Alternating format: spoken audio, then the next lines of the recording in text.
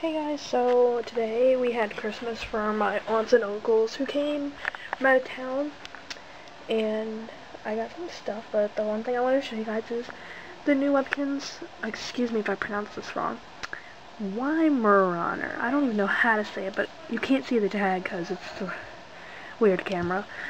I don't know how to spell it, but I will spell it right now. W-E-I-M-A-R-A-N-E-R. -E yeah, I don't know what it's called.